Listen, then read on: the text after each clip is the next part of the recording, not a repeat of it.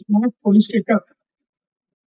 आणि गृह प्रकल्पाच्या उद्घाटन प्रसंगी मंचावर उपस्थित आपल्या सर्वांचे लाडके नेते आणि मार्गदर्शक आदरणीय नितीनजी गडकरी महाराष्ट्राचे पोलीस महासंचालक श्री रजनीश केट आपले पूर्व नागपूरचे लोकप्रिय आमदार श्री कृष्णाजी खोपडे मध्य नागपूरचे आमदार विकासजी भरे दक्षिण नागपूरचे आमदार मोहनजी मते आपले विधान परिषदेचे सदस्य प्रवीणजी दटके त्याचप्रमाणे कामठीचे आपले आमदार टेकचंदजी सावरकर आपले हाऊसिंग विभागाचे पोलीस महासंचालक श्री संदीप बिश्नोई त्याचप्रमाणे आपले पोलीस आयुक्त श्री अमितेश कुमार आय जी श्री दोरजे त्याचप्रमाणे श्री सूर्यवंशी श्रीमती अस्मती धोरजे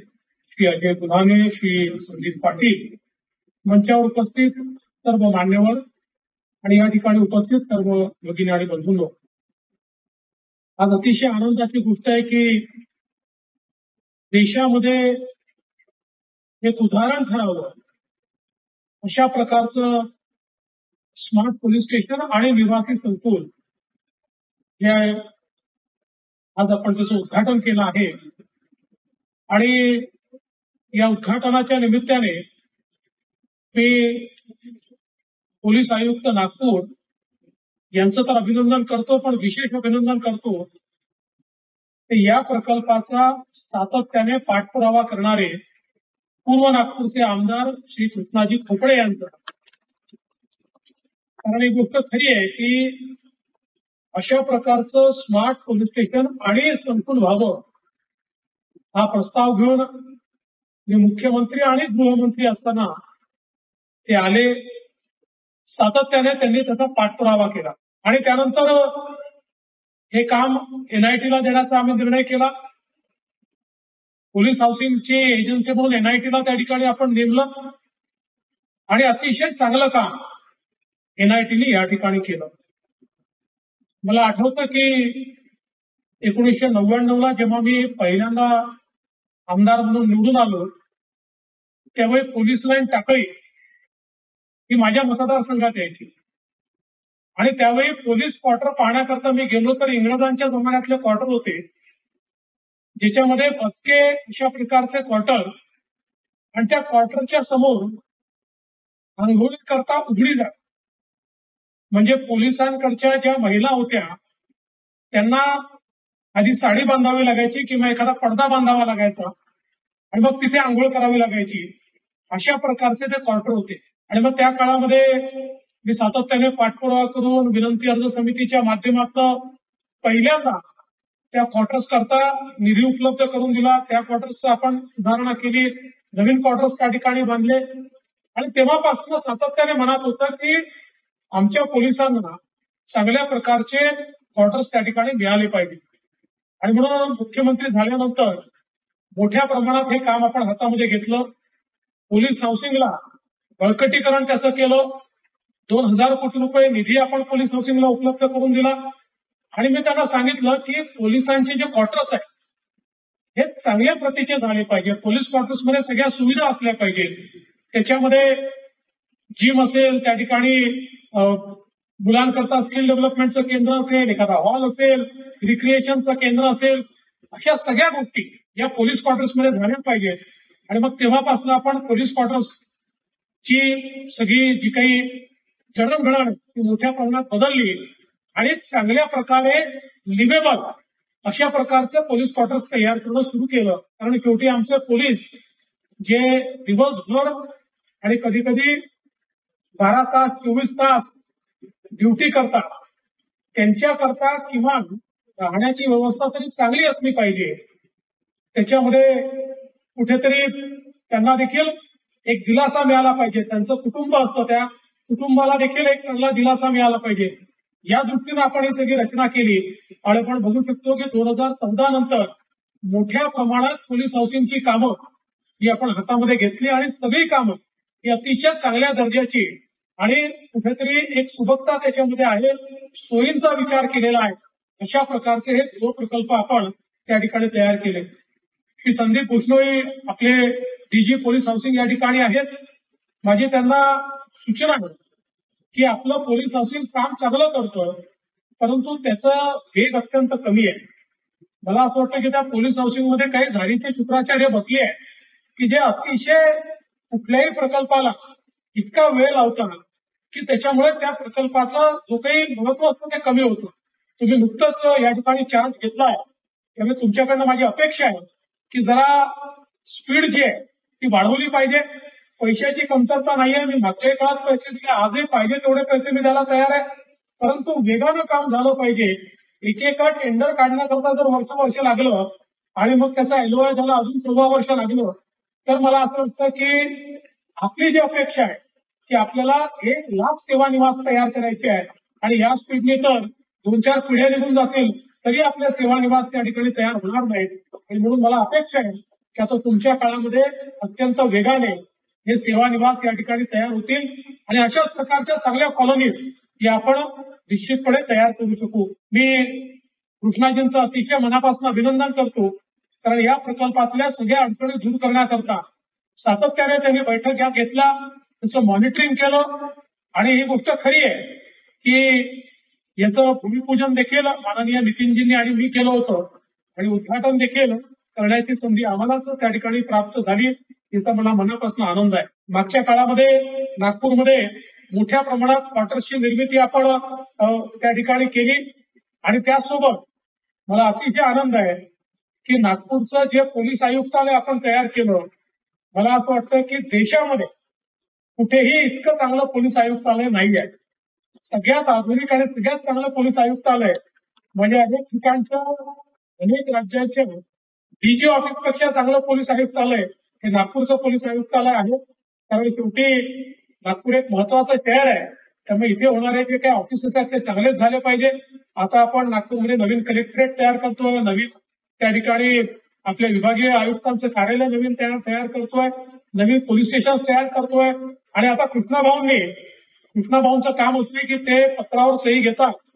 अनेक आमदार सह्या घेतात पण नंतर त्या पत्राचा पाठपुरावा करत नाही. कृष्णाभाऊंना सही दिली की त्यानंतर ते पत्र घेऊन ते जे निघतात ते फाईल तयार करून शेवटची सही घेण्यापर्यंत ते परत तुमच्या टेबलवर आणून ठेवतात. त्याच्यामुळे निश्चितपणे कृष्णाभाऊ आता तुम्ही पार्टीला जे काही स्मार्ट पोलीस स्टेशन आणि संकुल करण्याकरता ब्याऐंशी कोटी रुपयाची अपेक्षा केली आहे. मी आताच डीजी हाऊसिंगला सांगतो की प्रायोरिटी लिस्टमध्ये त्याचा आपण समावेश करू आणि निश्चितपणे त्याच्याकरता जो काही निधी आहे तो आपण देऊ. यासोबत नवीन पोलीस स्टेशनच्या संदर्भात खरं म्हणजे कृष्णा भाऊ तर प्रत्येक वॉर्डात एक पोलीस स्टेशन काढतील. त्यांची तयारी तीच आहे. पण मी पोलीस आयुक्तांना सूचना करतो की आपण कृष्णा भाऊंनी ज्या तिन्ही पोलीस स्टेशनच्या संदर्भातले मागणी केली आहे ती तपासून घ्यावी. शेवटी पोलीस स्टेशन तयार करताना आपल्याकडे लोकसंख्येचे निकष आहे निकषात जे बसतात त्याला आपण प्रायोरिटी देतो. त्यामुळे जे निकषात बसतील त्याचे प्रस्ताव आमच्याकडे आपण तात्काळ पाठवावे तिथलेच नाही. तर नागपूर शहरामध्ये मागच्या काळात बरेच पोलीस आपण तयार केले मी गृहमंत्री असताना. आता अजून आपली लोकसंख्या वाढली आहे. त्यामुळे त्या लोकसंख्येचा विचार करता जे काही नवीन पोलीस स्टेशन आपल्याला करायचे आहे त्या संदर्भातला आपण प्रस्ताव जो आहे हा प्रस्ताव जरूर पाठवावा जेणेकरून ते पोलीस स्टेशन तयार करता येतील. आता आपले माननीय पंतप्रधान मोदीजी यांनी एक सूचना केली आहे की कुठेही पोलीस स्टेशन बांधताना त्या ठिकाणी पोलीस क्वार्टर्स हे बांधलेच पाहिजेत. त्यामुळे आता नवीन पोलीस स्टेशनचा विचार करताना पोलीस क्वार्टर सहित पोलीस स्टेशन अशा प्रकारे आपल्याला त्या ठिकाणी बांधकाम त्याचं करायचं आहे.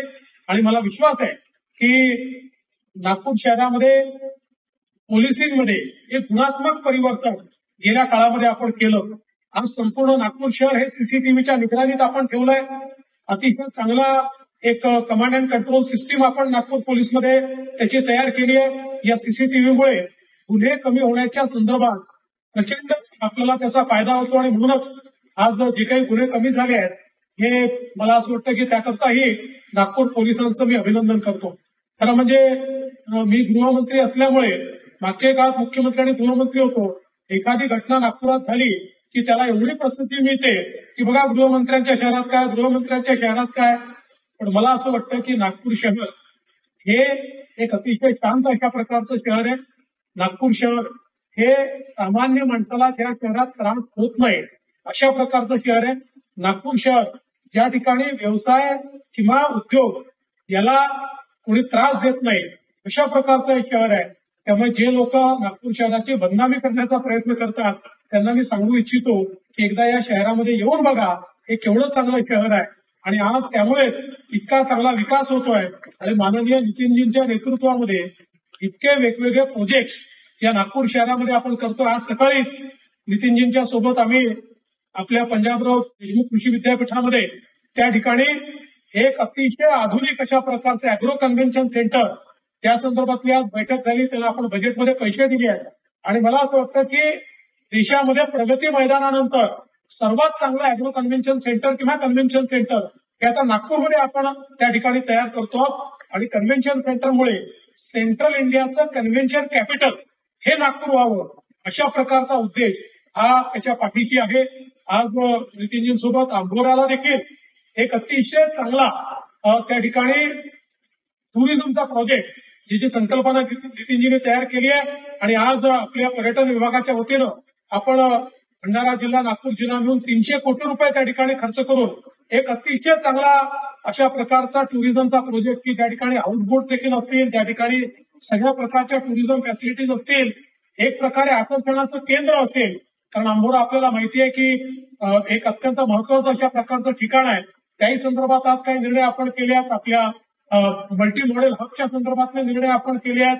नागपूरला लॉजिस्टिक हब करण्याच्या संदर्भात एक हजार एकरावर देशातलं अत्याधुनिक अशा प्रकारचं लॉजिस्टिक हब की ज्यातनं नागपूर शहरामध्ये मोठ्या प्रमाणात रोजगार तयार होतील आणि मोठ्या प्रमाणात आपल्या मुलांच्या हाताला काम मिळेल.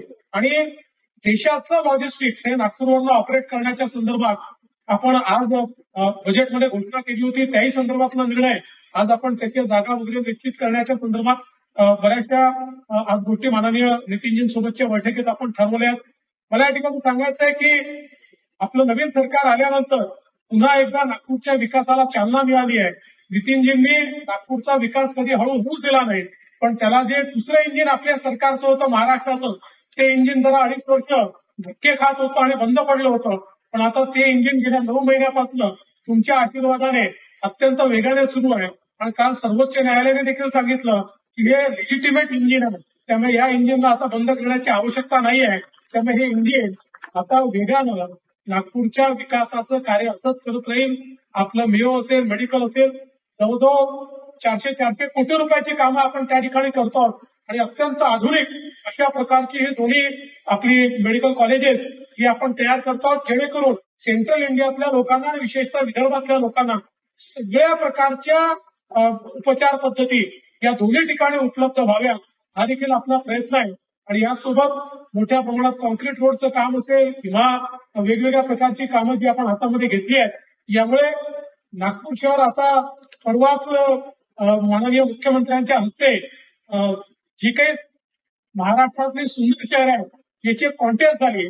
आणि मला अतिशय आनंद वाटतो की त्याच्यामध्ये माननीय गडकरी साहेब आपल्या आशीर्वादानं पहिला क्रमांक नागपूरचा लागत आणि त्याच्यामुळे नागपूर एक अत्यंत चांगलं शहर होतं काम अजून खूप करायचं आहे. पण निश्चितपणे मला विश्वास आहे की येत्या काळामध्ये हे अत्याधुनिक अशा प्रकारचं जे शहर आहे हे शहर लोकांच्या कुटुंबातलं शहर आपण तयार करून विशेषतः आज आमच्या पोलीस विभागाचा कार्यक्रम आहे त्यामुळे एक गोष्टीचा अजून उल्लेख मला केला पाहिजे की पोलिसांना सेवा निवासस्थानांसोबत त्यांचं स्वतःचं निवासस्थान घेण्याच्या संदर्भात देखील आपण मागच्या काळामध्ये डीजी लोनची योजना आणली होती. वीस लाखापर्यंतचं लोन सबसिडीवर आपण हे आमच्या पोलिसांना त्या ठिकाणी द्यायचो आणि मोठ्या प्रमाणात पोलिसांना त्याचा फायदा व्हायचा. मात्र मध्यंतरीच्या अडीच वर्षामध्ये ते बंद झालं होतं. आता ते पुन्हा आपण सुरू करतो आणि सगळ्या त्याच्या फॉर्मॅलिटीज झाल्या कुठली bank bank of India bank of इंडियाच्या आता अंतिम मान्यता येत्या तीन चार पाच दिवसात येईल. आणि त्यानंतर हे डीजी लोन पुन्हा आपण सुरू करू जेणेकरून आमच्या पोलिसांना सेवा निवासस्थानासोबत त्यांचं हक्काचं घर हे देखील आपल्याला देता येईल त्यांना ते घेता येईल. आणि म्हणून मला असं वाटतं की पोलिसांच्या विकासाकरता अनेक गोष्टी आपण करतो. मध्यंतरीच्या काळामध्ये आमच्या पोलीस आयुक्तांनी नागपूरच्या सगळ्या पोलिसांचा चेकअप करण्याकरता आणि त्यासोबत त्यांचं एक डिजिटल अशा प्रकारची फाईल त्यांच्या हेल्थची ही तयार करण्याकरता एक विनंती केली होती. त्यालाही आपण निधी दिलेला आहे. त्यामुळे सगळ्या पोलिसांचा सगळ्या प्रकारचं चेकअप करून आणि त्यांचं एक डिजिटल हेल्थ फाईल आपण तयार करणार आहोत. जेणेकरून त्यांच्या उपचाराकरता किंवा कोणाला काही एलिमेंट असेल तर भविष्यामध्ये त्यांना योग्य प्रकारची मदत मिळावी. याकरता आपण ही सगळी व्यवस्था जी आहे ती उभी केली आहे. आज नागपूरमध्ये आपण पोलिसांना सत्तर गाड्या दिल्या आहेत. शंभर सत्तर कार आणि म्हणजे फोर व्हीलर आणि शंभर मोटरसायकल दिलेल्या आहेत. त्यामुळे गुणवत्ता वाढवण्याकरता एफिशियन्सी वाढवण्याकरता आपण मोठ्या प्रमाणात काम करतो आहोत. आणि मला विश्वास आहे की याचा योग्य प्रकारचा उपयोग हा नागपूर पोलिसांच्या वतीनं होईल.